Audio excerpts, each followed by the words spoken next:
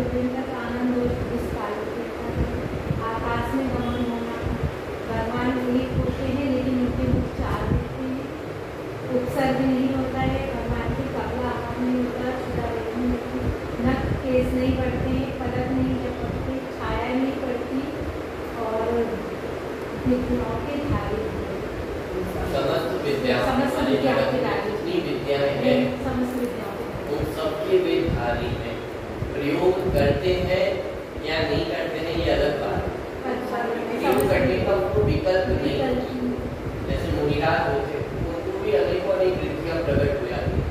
जैसे अभी रक्षाबंधन पर विष्णु कुमार मुनिराज को विक्रिया देवी प्राप्त थी लेकिन उन्हें ख्याल ही नहीं था कि मुझे विक्रिया देवी प्राप्त है। जब उन्हें वो सूचना मिली कि उत्सर्ग चल रहा है मुनिराजों पे और आपके माध्यम से वो दूर किया जा सकता है तो उन्होंने हाथ बढ़ा के देखा। तो हाथ सुविधा प्रकट हो जाती हैं लेकिन प्रयोग करने का विकल्प उनको जाकर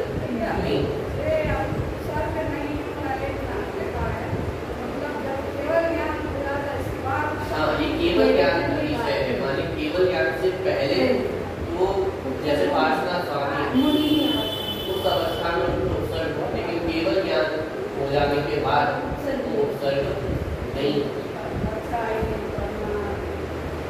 तो वास्तव में ये सब जो बाहर का अतिशय है का उदय।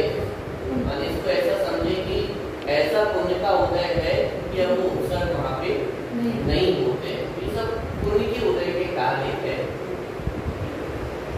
तो इस प्रकार दस जो केवल ज्ञान के अतिशय अनेकों प्रकार के अतिशय वहाँ पर होते आगे देवदत्त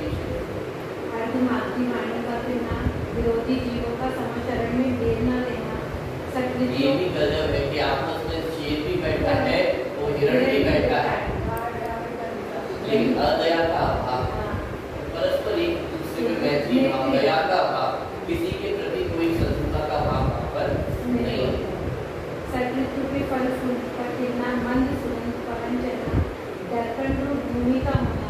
सुगंधित जल की वर्षा होना, कंटक रहित भूमि होना, सुवर्ण कमलों पर प्रभु का होना फूलों के भार से नम्रीभूत धान्य होना देवों का जय जयकार आकाश की निर्मलता धर्म चक्र का आगे चलना आठ मंगल रूप का रहना और सब प्राणियों में सुख रहना। मानी देवव्रत अतिशय इस प्रकार के है कि जहाँ समस्रण लगता है कि वहाँ चारों तरफ़ खुशहाली का वातावरण हो जाता है। माने कहीं दुर्भिक्षता नहीं है कहीं मौसम की परेशानी नहीं है। आज तो कदाचित स्वाध्याय करना हो और बारिश हो जाए तो संभव ना भी हो पाए। लेकिन समस्रण का अतिशय देवव्रत ये अतिशय है कि कोई बहाना नहीं चलता। कि समस्रण में नहीं आ पाए। क्यों नहीं आ पाए? साहब बहुत तेज बारिश हो गई। वो रास्ता थोड़ा खराब था गाड़ी से आना जाना संभव नहीं है। बहुत गड्ढे होते हैं। दर्पण मत भूमि हो जाती है माने किसी भी प्रकार की कोई समस्या वहाँ पर नहीं। माने किसी कोई गरीबी नहीं है दुर्भिक्षता का अभाव हो जाता है। हर तरह की अनुकूलता, मौसम संबंधी अनुकूलता, वातावरण संबंधी अनुकूलता, हर तरह की अनुकूलता वहाँ पे हो गई। इसका मतलब क्या है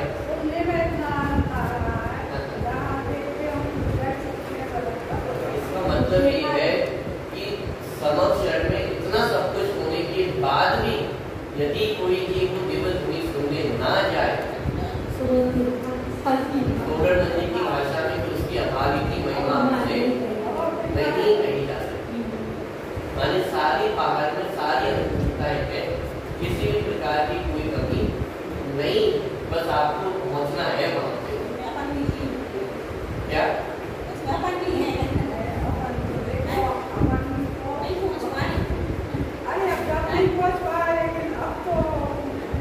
क्या हुआ अब तक ये बात अलग है लेकिन अब क्या कर रहे हैं हम ये नहीं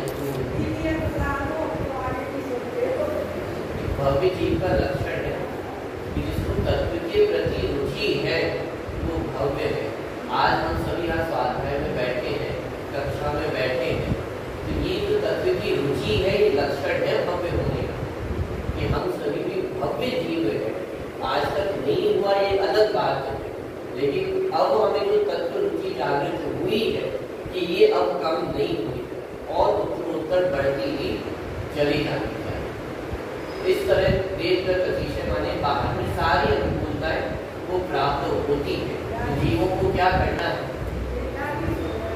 मार्ग वहाँ जाकर को दिव्य ध्वनि का श्रवण करना है समक्षण का भी आप कभी वर्णन पढ़े वहाँ का भी अद्भुत वैभव होता है ऊपर चढ़ना पड़ता है फिर वहाँ पे सीढ़ियाँ ऐसी होती हैं कि एक कदम रखा और अपने आप जैसे मौत होती है सीढ़ियाँ तो एक कदम रखते हैं और अपने आप ऊपर चढ़ने चला ये का पूरा सिस्टम माने बहुत तरह के अतिशय है। माने जिस जीव को वास्तव में तत्व रुचि है तो जीव पहुँचते ही पहुँचते हैं। वहाँ किसी भी प्रकार की प्रतिकूलताएँ नहीं चलिए आठ प्रातिहार और कोई लिखित है? चलिए। तीन छत्र दिव्य ध्वनि पुष्प दृष्टि चौसठ चक्र करुणा वामंडल और दुंदुजी पाटी ये आठ प्रातिहार शांति पाठ में छलपट दिव्य विटप पंकज की वर्षा दुर्गी आसन पानी छत्र चवन महामंडल वाली हेतु प्रातिहार ये आठ प्रातिहार अशोक वृक्ष का होना छत्र चमन महामंडल का होना। दुर्गुमी माने तो ये सब आठ प्रातिहार जो में पे पाए जाते तो इस प्रकार दस जन्म की अतिशय दस केवल ज्ञान के अतिशय चौदह देवव्रत अतिशय और आठ प्रातिहार ये टोटल बयालीस ऐसे मूल गुण है जो शरीर से संबंध रखने वाले और चार मूल गुण जो अनंत चतुष्टय है, ये आत्मा से संबंध रखने वाले मूल गुण तो इस प्रकार में कुल चालीस मूल गुण होते हैं। इनमें से दस जन्म अतिशय दस केवल अतिशय और चौदह देव अतिशय ये तीर्थंकर अनंत भगवान के ही होते हैं। और जो अष्ट प्रातिहार है और जो मूल गुण या अनंत चतुर्थ है वे तो सभी अनंतों के होंगे अष्ट प्रातिहार सभी अनंतों के होंगे लेकिन जो शेष दस जन्म के दस केवल और चौदह देवते नतीजे है, ये मात्र तीर्थंकर अनंतों के ही एक जो एक और प्रश्न आया था कि सामान्य अनंतों की दिव्यध्वनि खिड़की या नहीं खिड़की है? तो सामान्य अनंतों की दिव्यध्वनि खिड़की। हाँ समक्षरण में यदि हो उनकी गंध रूपी विराजमान होती तो वहाँ पे उनकी जो वाणी वहाँ पे गिरती नहीं तो जब उनकी वाणी गिरती होगी तो वहाँ उनको भी तो झेलने वाले गणधर होंगे ना। गणधर का ऐसा विशिष्ट पढ़ने में नहीं आया है मुझे कि उनमें गणधरों की आवश्यकता गणधर के में नियम है। कि गणधर होने पर ही। दिव्यध्वनि गिरती है सामान्य अनंत में ऐसा नियम पढ़ने में नहीं आया है और विशेष यदि कुछ पढ़ने में आएगा मैं आपको बता दूँ लेकिन इतना है कि सामान्य अनुभव की भी जो देवध्वनि है वो गिरती है और मूक के भी ऐसे केंद्रीय होते हैं तो कि उनकी वाणी नहीं ही मूक के भी कहलाते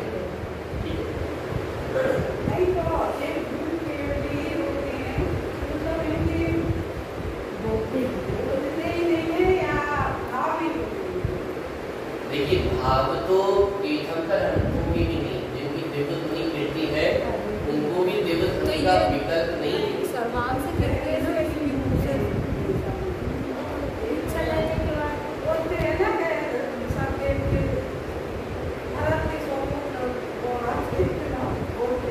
वो उन्होंने अपने जीवन में कुछ बोला ही तो वो तो गूँगे थे ना इसलिए गूँगे उनका तो ये आता कि वो मतलब गूँगे थे वो गूँगे नहीं थे तो दीक्षा के समय वर्णन आता है कि वो नमः शिवाय कहते थे दीक्षा लेते इसके अलावा उन्होंने अन्य कुछ अपने जीवन में बोला है माने उन्हें विकल्प ही नहीं हुआ कि अभी आठ दस दिन पहले वहाँ स्वाध्याय में निकला था कि वो गूँगे बह रहे थे उनके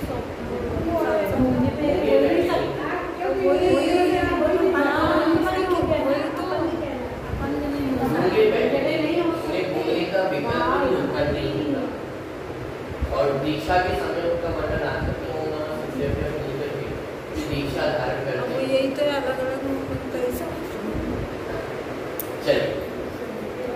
अगला एक और होमवर्क था आप लोगों को। सिद्ध परमेश्वरी हाँ, सिद्ध भगवान की जो आठ गुण है वो किस कर्म के अभाव में कौन से गुण प्रकट होते हैं के अभाव एक- एक- में एक- कौन लिख के लाए सबसे पहले तो चलिए। कल के भी लिखे।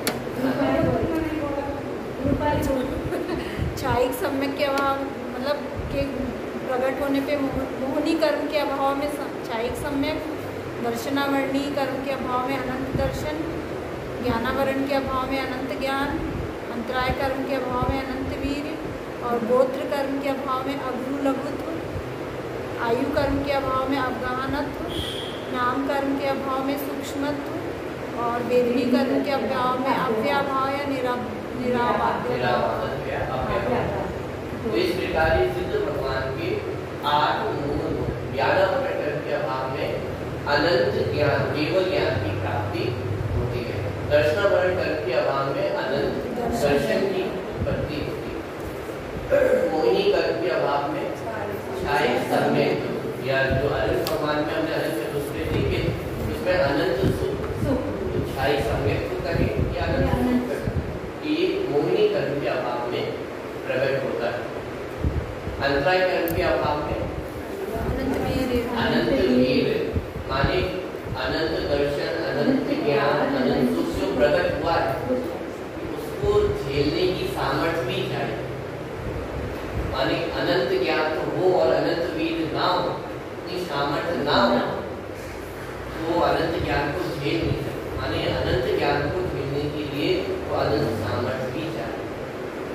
माने कहते हैं कि जितना बड़ा पद होता है तो उतनी जिम्मेदारियाँ भी आती हैं। उनको झेलने की सामर्थ्य चाहिए।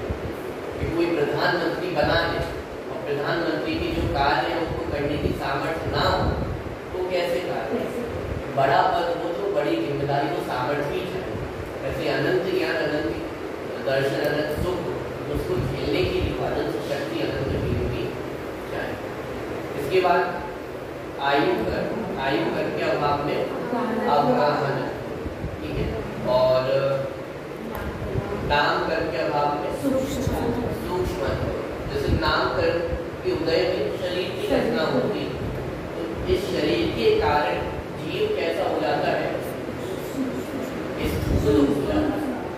सूक्ष्म का अर्थ होता है बहुत सूक्ष्म किसी से बाधा को प्राप्त ना हो, कहीं भी आ जा सके।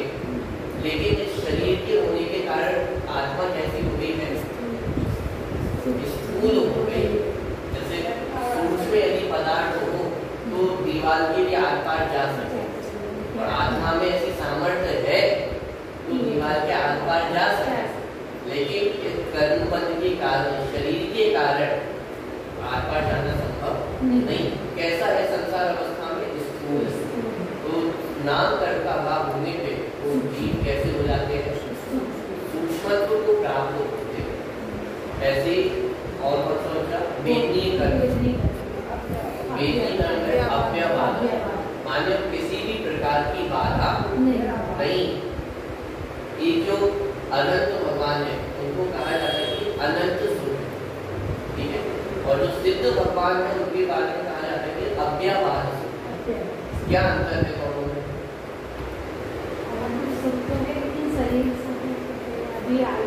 अनंत दशा में अनंत सुख है। सिद्ध दशा में भी अनंत सुख है। लेकिन अंतर क्या है? कि अनंत दशा में अभी चार कर्मों की बाधा है। शरीर की बाधा है। बाहर में नौ कर्म लेकिन सिद्ध दशा में समस्त अन्य द्रव्यों का संबंध द्रव्य कर्म भाव कर्म और नौ कर्म पूरी तरह से छूट गए। इसलिए उनका सुख कैसा है? अव्याभाव किसी भी प्रकार की बाधा से अव्य रहित है। द्रव्य कर्म की भी बाधा नहीं है, इस शरीर की भी बाधा नहीं है, नौ कर्म की भी बाधा नहीं। इसकी भी कैसे है? अव्यभाव और कौन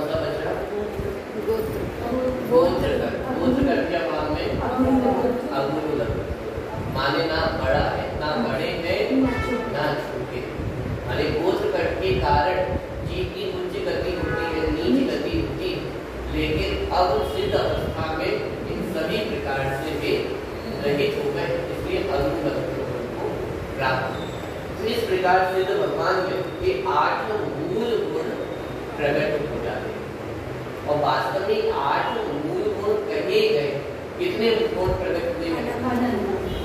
कि समस्त आत्मिक गुण प्रकट हुए हैं। तो समस्त आत्मिक गुण कितने हैं?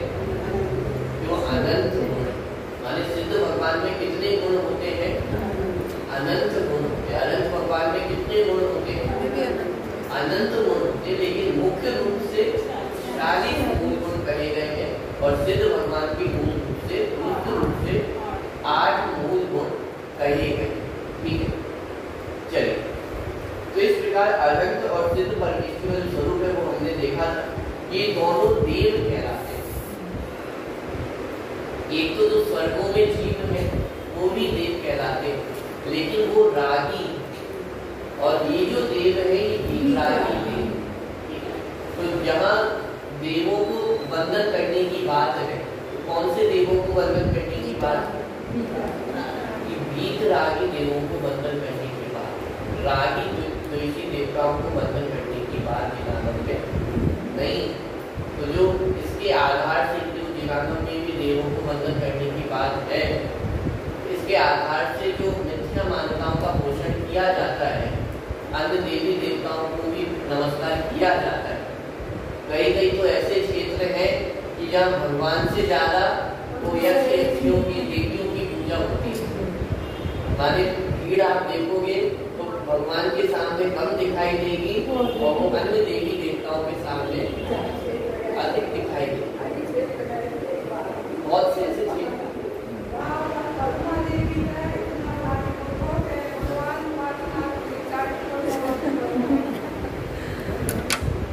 विचारनी बात है कि कौन नमस्कार करने योग्य है और कौन नमस्कार करने योग्य नहीं।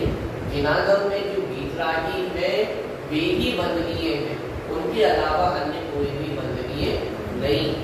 देव शास्त्र और गुरु। का थोड़ा और विस्तार करें तो पंच परमेश की थोड़ा सा और विस्तार करें तो जो नव देवता की बात आती है।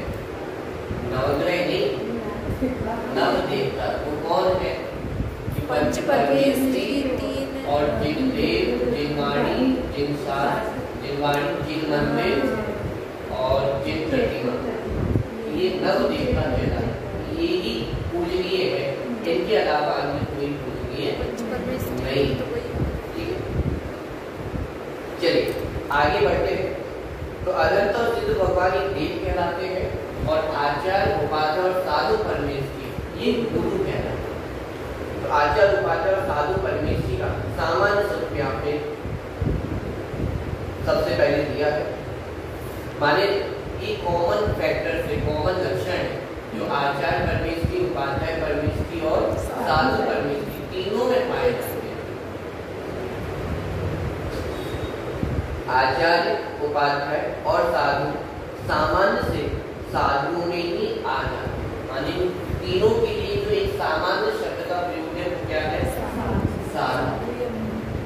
जो विरागी होकर समस्त परिग्रह का त्याग करके।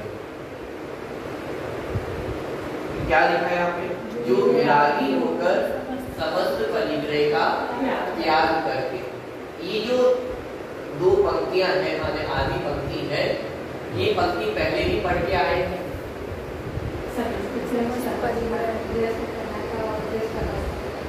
गृहस्थ बना और गृहस्थ अवस्था आनंद भगवान की डेफिनेशन में क्या देखा था गृहस्थ बना, जो गृहस्थ बना त्याग कर और सिद्ध भगवान की परिभाषा में क्या देखा था जो ग्रस्त अवस्था त्याग कर अब उन दोनों बातों को यहाँ एक साथ ले लिया जो विरागी होकर विरागी होकर अर्थात जो ग्रस्त बना त्याग कर समस्त परिग्रह का त्याग कर जो ग्रस्त अवस्था का त्याग। कर ठीक है?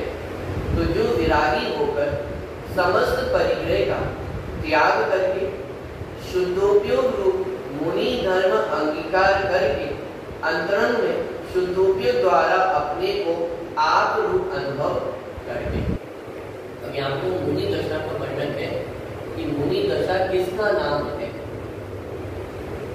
कि सबसे पहले मुनि दशा कहने पे हमें क्या याद आता है?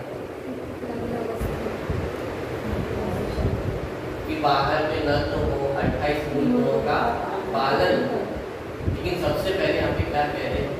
मुनि दशा किसका नाम है? कि शुद्धोपयोग रूप मुनि धर्म अंगीकार करके तो मुनि दशा किसका शुद्धोपयोग रूप मुनि धर्म अंगीकार करके ये वास्तव में का धर्म ये वास्तव में मुनि धर्म है कि वो अपने आत्मा में ही लीन रहते हैं। तो शुद्धोपयोग वो वास्तव में मुनि धर्म है। तो शुद्धोपयोग मुनि धर्म अंगीकार करके अंतरंग में शुद्धोपयोग द्वारा अपने को आत्म रूप अनुभव करते हैं। कि हमारे मन में प्रश्न खड़ा हो सकता है? कि मुनिराज क्या करते हैं? भाई, हमारे पास तो बहुत सारे काम होते हैं। घर गृहस्थी के काम है, व्यापार के काम है, दुनियादारी के इतने काम है। हम तो बहुत व्यस्त रहते हैं। समय भी नहीं मिल पाता है। क्या पता इतनी बड़ी मुश्किल से थोड़ा सा समय हम निकाल पाते हम तो बहुत व्यस्त रहते लेकिन मुनिराज क्या करते हैं? उनको क्या कार्य होता है? वो तो बहुत फ्री रहते होंगे। क्या कार्य है? कि शुद्धो अग्रम में शुद्धोपयोग द्वारा अपने को आप रूप अनुभव करते हैं। ये भी कोई कार्य है क्या? यानी सबसे बड़ा कार्य तो यही कार्य है। कि हम अनादिकाल से अपने आप को भूले हुए हैं। इस शरीर में ही हमने एकत्र कर रखा है। पर पदार्थों की हम कर्ता भूमिका बनते हैं। जो अनादिकाल की भूल है तो मुनिराज उसको मिटने वाले उसको मिटाने वाले हैं। क्या करते हैं?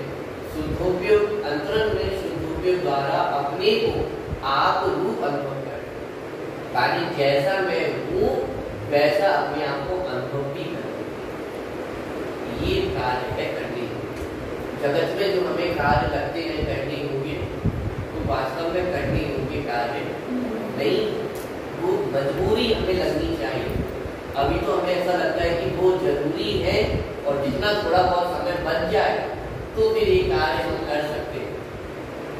लेकिन उल्टा होना चाहिए कि जगत के कार्य को मजबूरी लगनी चाहिए और ये कार्य ज़रूरी लगना चाहिए। ये माने ये प्रथम करनी होगी कार्य है भोजन नहीं बन पाए, एक बार को चल जाएगा।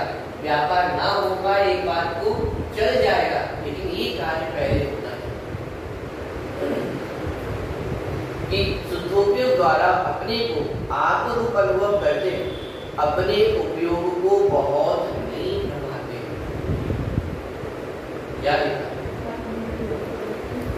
कि अपने उपयोग को बहुत नहीं बढ़ाते हैं।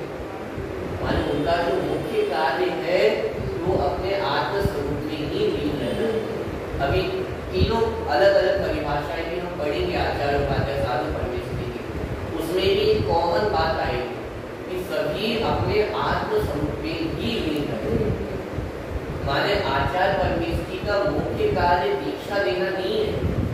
आचार्य परमेश्वरी का मुख्य कार्य अपने आत्म स्वरूप में लीन रहना उपाध्याय परमेश्वरी का मूल कार्य पढ़ाना नहीं। उपाध्याय परमेश्वरी का मुख्य कार्य आत्म स्वरूप में लीन रहना।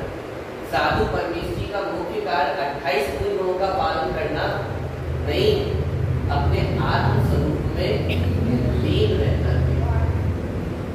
ये मुख्य कार्य है, और कदाचित वहाँ उपयोग स्थिर ना रहे तो इन कार्यों में लगते हैं। यदि आत्म स्वरूप में लीनता रहे तो ये सारे कार्य करने की आवश्यकता नहीं और चर्चा पूरी आगे आए तो अपने उपयोग को बहुत नहीं बनाते। माने दुनियादारी के कामों में एक हम श्रावकों की भी गलत आदत है कि जब भी मुनिराज के पास जाते हैं तो हमारे घर में ऐसा हुआ है ये होता है वो होता है। कौन सी बातें हम उनके साथ करते हैं? अरे जो करनी होगी बातें नहीं। मुनिराजों को आपके घर गृहस्थी में क्या चल रहा है उससे कुछ भी लेना देना नहीं। कि वो अपने उपयोग को बहुत नहीं मानते और यदि हम इस उनके पास जाते हैं और ये चर्चा उनसे करते तो कहीं ना कहीं हम उनकी साधना में बाधा डालते हैं। तो आपकी बातों पे ध्यान देने वाले नहीं। लेकिन ये एक तरह से हम उनके ऊपर उपसर्ग कर रहे हैं। बाहर में कोई उपसर्ग करे उनसे वो विशेष होने वाले नहीं है उनका पुरुषार्थ है। लेकिन ये हमारा कर्तव्य है कि हमारे कारण उनकी साधना में कोई विघ्न ना ये श्रावकों का कर्तव्य है तो इस प्रकार की कोई भी लाभ दृष्टि पुरुषक बातें कथा कहा जाता है फिर मुनिराजों के समक्ष नहीं करनी चाहिए यदि कोई बातें करनी भी है, आगे तो अपने आध्यात्मिक स्वास्थ्य की बात करनी चाहिए। कि बात कुछ करनी भी है तो तत्व ज्ञान की जिज्ञासा होनी चाहिए, स्वाध्याय की जिज्ञासा होनी चाहिए कि मेरा क्या स्वरूप है, किस तरह हम मोक्ष मार्ग में आगे बढ़ सकते हैं, ये चर्चाएँ हो, लेकिन अन्य जगत की जो चर्चाएँ हैं वो करना व्यर्थ है। क्यों? क्योंकि मुनिराज अपने उपयोग को बहुत नहीं बनाते बहुत कम कहा है, बहुत अधिक इसमें समझ। माने दुनियादारी की जो सभी बातें होती हैं वो उनके योग्य नहीं, माने उनके समक्ष करने योग्य भी बातें नहीं। अपने उपयोग को बहुत नहीं कमाते हैं। जिनके कदाचित मंद राग के उदय में सुपयोग भी होता है परंतु उसे भी ध्येय मानते। क्या कहा मुख्य परि तो आत्म स्वरूप में लीन रहे। लेकिन कदाचित वो राग का उदय हो कौन से राग का? शुभ राग। माने अभी जो संयोजन कषाय शेष है चार प्रकार की कषाय होती है कौन कौन सी अनंतानुबंधी अप्रत्यज्ञान प्रत्यज्ञान और संधारण। अनंतानुबंधी अप्रत्याख्यानावरण प्रत्याख्यानावरण और संयोजन। संयोजन ये चार प्रकार की कक्षाएँ ठीक है तो जो इलाज है उनके जीवन में तीन प्रकार की कक्षाओं का अभाव हो गया ये तीन प्रकार की कक्षाएँ कौन कौन सी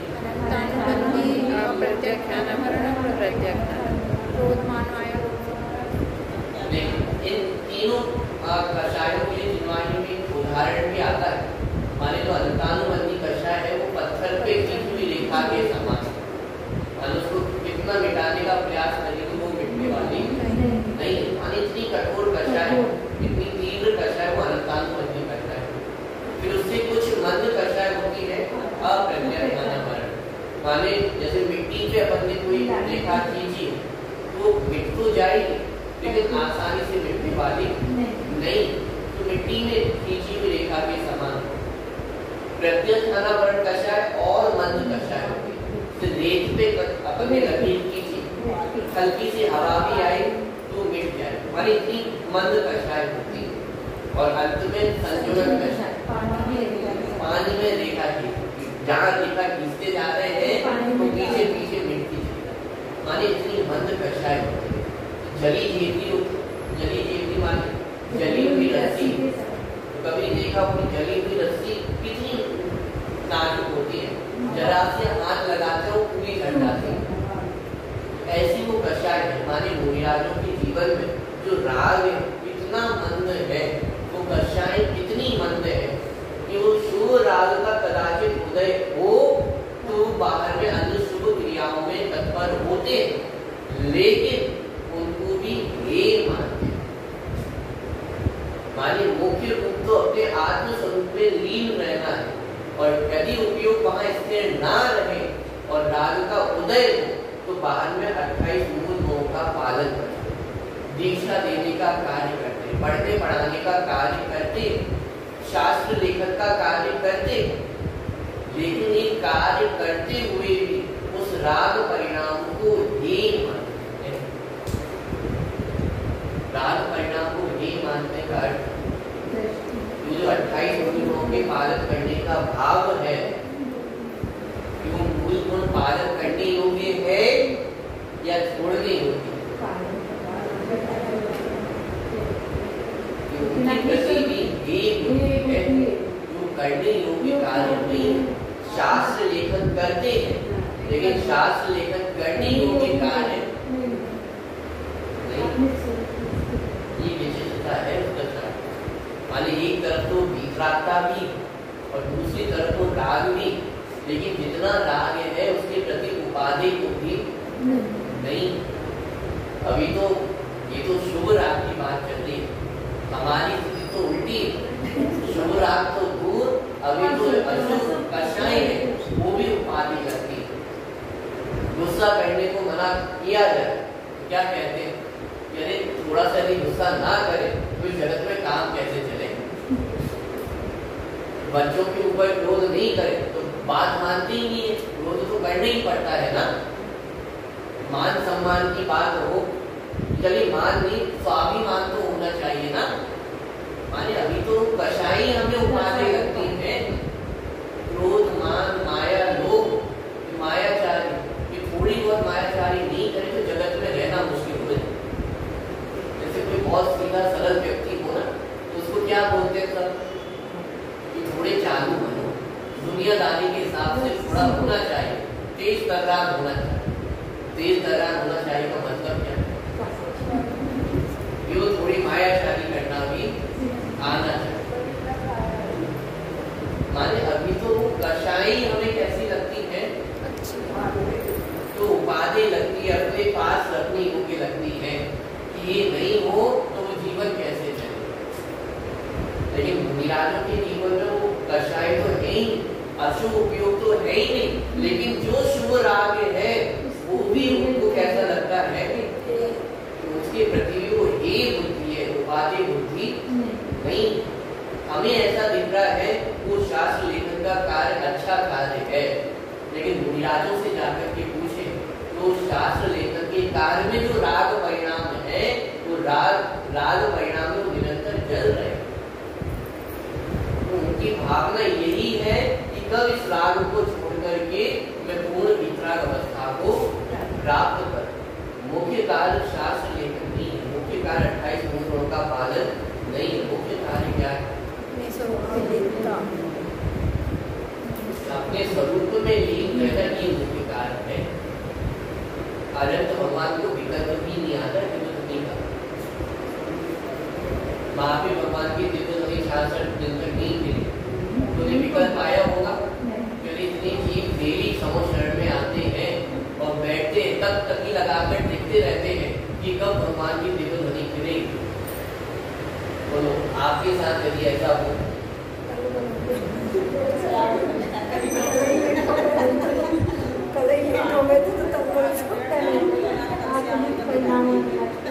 कि यहाँ आकर बैठे और कोई बोलने वाला ही ना हो। कल ही तो हो गया तो नहीं कितना पेशेंस हमारे अंदर रहेगा? कितना धैर्य रहेगा? सब तो आने वाले ही। नहीं, अब तो सुनने को मिलने वाला नहीं। है लेकिन उस समय के श्रावकों का भी मैंने क्या उनका भी पुरुषार्थ इतने दिनों तक कंटिन्यू वे जाते रहे। नहीं तो वो हो सकता था दो चार दिन बाद, हफ़्ते भर बाद, एक महीना बीत गया, दो महीने बीत गए अब दिल थोड़ी नींद हुई। कब तक जाए? कब तक बैठे रहे? नहीं जाते लेकिन उनका भी एक पुरुषार्थ वो उनका धैर्य वो बैठे। जब तक दिल थोड़ी नींद गिरी तब तक वो बैठे डेली आते थे। लेकिन अभी तो बात ये है कि वो महावीर भगवान को विकल्प हुआ होगा या नहीं हुआ? साथ श्रावक इतने परेशान हो रहे हैं। ये देवदत्ती सुनेंगे तो कदाचित कितने जीवों को सम्यक दर्शन की प्राप्ति हो जाएगी। में और अगर स्वरूप से बाहर आते तो वो फिर अरिहंती नहीं डर पाते। नहीं। और दस पंद्रह दिन और यदि गौतम नहीं आते तो तो फिर वो सब्र का बात टूट जाता महावीर भगवान का। लक्ष्य नहीं। क्यों? क्योंकि वो अपना निरंतर हैं अपने स्वरूप में लीन रहना अपने आप को जैसे है वैसा मानना ये उनका कार्य है वो अपना कार्य कर रहे हैं और निरंतर वो आनंद का वेदन कर रहे माने इस इस बात का विकल्प नहीं है। कि देवध्वनि गिरेगी या नहीं गिरेगी कब गिरेगी इस बात का विकल्प नहीं। तो जिनके कदाचित मन राग के उदय में शुभोपयोगी होता है परंतु उसे भी ये मानते हैं। तीव्र कषाय का अभाव होने से अशुभ उपयोगिता तो अस्तित्व ही नहीं है माने तीव्र कषाय का तो वहाँ पर अभाव तो वहाँ पर नहीं पाँच पापों के पूर्णतया त्यागी क्रोधमान माया लोभ तो ये जो माया लोभ है। यहाँ पे भी तीव्र कषाय का अभाव अनंतानुबंधी और इन कषायों का अभाव है इसलिए अशुभ उपयोग का तो अस्तित्व है ही कदाचित क्रोध होता भी क्रोध कैसा है जो क्रोध किसी को अहित करने वाला नहीं जो मंद क्रोध है, वो भी इसलिए जैसे रक्षाबंधन की कथा हमने पढ़ी। वहाँ पे श्रुत सागर व्यास को आदेश दे दिया वहीं पर जाके स्थित रहे। क्यों? क्योंकि आज्ञा भंग तो क्रोध है। यह समस्त बुनियादों की रक्षा का भाव माने जो क्रोध क्रोध भी दिखाई दे रहा है वास्तव में बहुत मंद है, वो अशुभ उपयोग उसको क्या कहे? इसलिए यहाँ पे तीव्र दशाएँ का भाव होने से अशुभ उपयोग का तो अस्तित्व ही नहीं है। ऐसे मुनिराज ही सच्चे साधु मानिए, सच्चे साधु का स्वरूप यहाँ पे वर्णित किया कि वे कैसे होते वितरागी होते अपने स्वरूप में ही लीन रहते हैं और कदाचित उपयोग वहाँ स्थिर न रहे तो शुभ उपयोग के कारण बाहर में लेकिन उनको भी ये मानते, उपाधि बुद्धि से उनको नहीं करते। और तीव्र कषाय का अभाव होने से अशुभ उपयोग का तो अस्तित्व वहाँ पर रहता ही नहीं। जो अपने उपयोग को बहुत नहीं कमाते हैं, ऐसे साधु परमेश्वरी का स्वरूप है। ये मतलब तीनों कॉमन आ गए। आचार उपाध्याय और साधु परमेश्वरी का ये कॉमन लक्षण है। मानी सभी जो आचार उपाध्याय और साधु परमेश्वरी सभी तीनों परमेश्वरियों की विशेषताएँ रहती है। अब एक एक परमेश्वरी की जो और अधिक विशेषता है, वो अपन आगे सरिजा